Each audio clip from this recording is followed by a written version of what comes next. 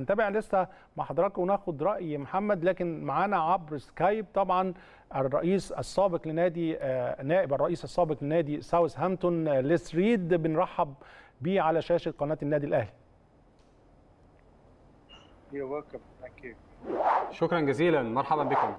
أهلا بيك بنرحب بيك على شاشه قناه النادي الاهلي وعايز اتكلم معاك على طبعا انت كنت متواجد في العصر الذهبي لساوث هامبتون عصر جيد جدا من الانتصارات ولعيبة عظماء كثيرة جدا في نادي كبير زي ساوث هامبتون عايز اعرف هل تعافت الأندية الإنجليزية وإحنا بنشوف الصفقات بالملايين هل تعافت الكرة الإنجليزية والأندية الإنجليزية من صدمات طبعا فيروس كورونا وعادت تاني العجلة الاقتصادية لمجارها الطبيعي في الكرة الإنجليزية؟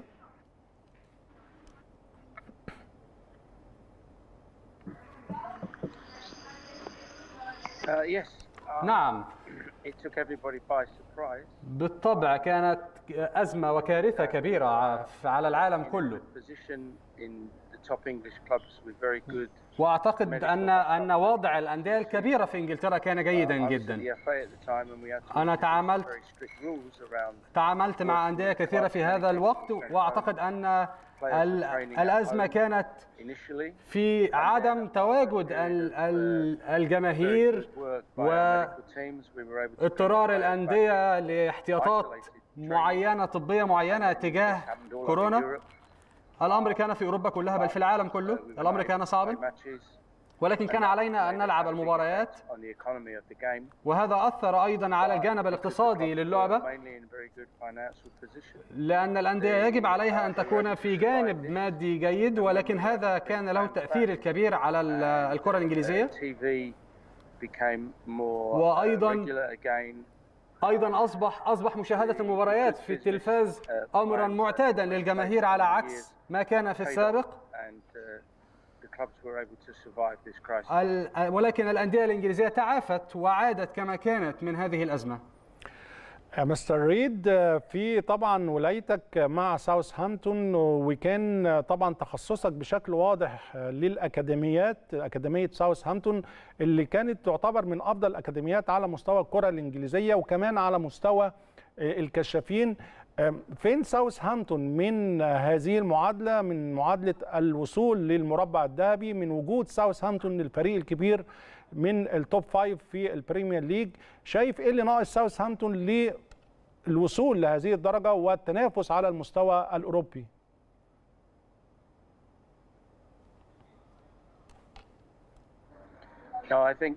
Southampton أعتقد أن ساوثهامبتون الآن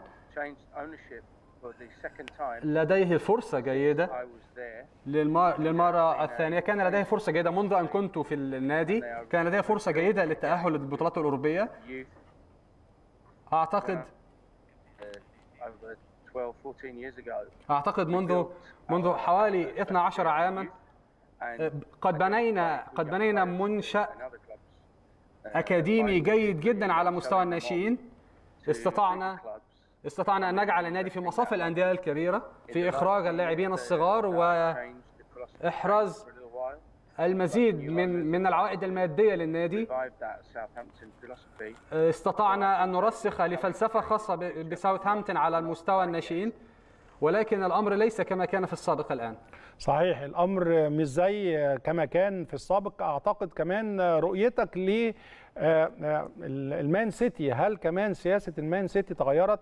وهذا الموسم يمكن فيه فائض ما بين شراء ولاعبين للمان سيتي بمبلغ حوالي 14 مليون يورو على غير ما كان في السابق. الصرف كتير جدا جدا ولكن هذا الموسم المان سيتي بيع بي بي بيعمل الربح من الفارق ما بين بيع اللعيبة وشراء اللاعبين حوالي 14 مليون يورو. شايف المان سيتي إزاي؟ وهل هي- ديت سياسة جديدة للمان سيتي؟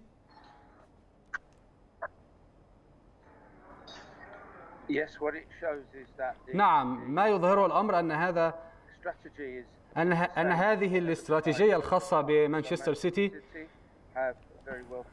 أعتقد أن أن مانشستر سيتي لديه لديه ملاك جيدين جدا يتعاملون ويطورون في النادي بشكل جيد.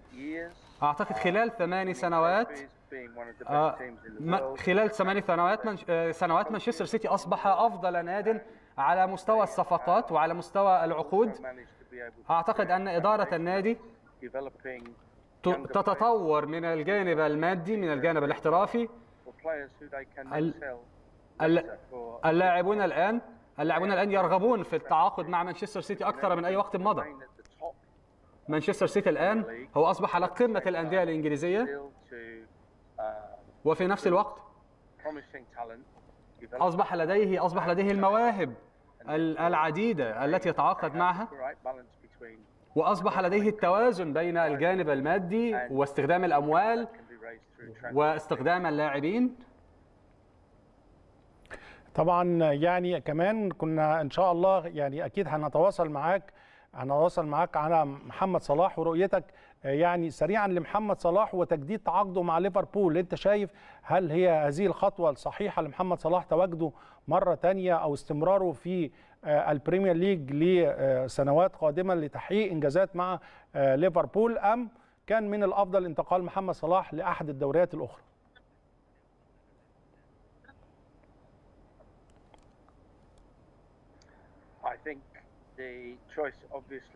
أعتقد أن القرار أن القرار بوضوح كان قرار محمد صلاح. لا أعتقد لا أعتقد أن محمد صلاح كان سي- سيختار اختيار uh, خاطئ. محمد صلاح لاعب محترف. هو أفضل لاعب في العالم في هذه الفترة. he's هو هو سعيد جدا في ليفربول. هو هو uh, يرتاح في تواجده في النادي. يتميز يمتاز بال- بالاستقرار في النادي. أعتقد أنه لا فائدة من انتقاله لأي ناد آخر. في مع ليفربول سيحقق البطولات بلا شك. وسيظل واحد من أفضل اللاعبين في العالم. ومن. خلال تواجدي في في أحد أفضل أندية العالم contract. أعتقد أن تجديد العقد بالنسبة لمحمد صلاح كان شيئا جيدا. وأعتقد أنه سيحقق نجاح أكثر مما كان. وأعتقد أن الفترة القادمة أفضل لمحمد صلاح وليفربول. إحنا طبعا بنشكرك شكرا جزيلا آه، ليس ريد طبعا النائب رئيس آه، آه، نادي ساوثهامبتون السابق آه، ولقاء كان أكتر من رائع.